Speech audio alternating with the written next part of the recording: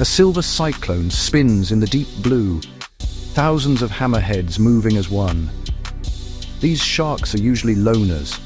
So what on earth is going on? 30 meters down, the ocean becomes a wall of sharks. Hammer-shaped heads overlap, tails beat in rhythm. A living column of motion. Scientists call it a polarized school, but it feels like a primal symphony. By night, they hunt alone. By day, they gather. Same seamounts, same months, every year.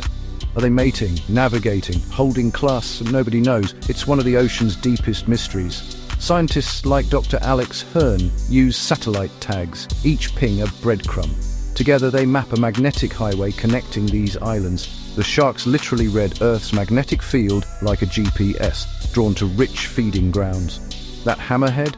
It's pure genius. 360 degrees vision, electrosensors that detect a heartbeat under sand, and aerodynamic lift that lets a 10-foot shark turn sharper than a jet. A three-meter female drifted past, calm, curious. My brain screamed predator. My gut whispered visitor. In that moment, the ocean felt alive and aware. But here's the gut punch.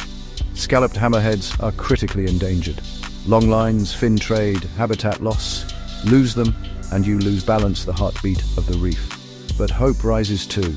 Ecuador expanded the Galapagos Marine Reserve by 60,000 square kilometers. New tech tracks illegal fins. And live shark tourism proves they're worth more alive than dead. Would you dive into that tornado?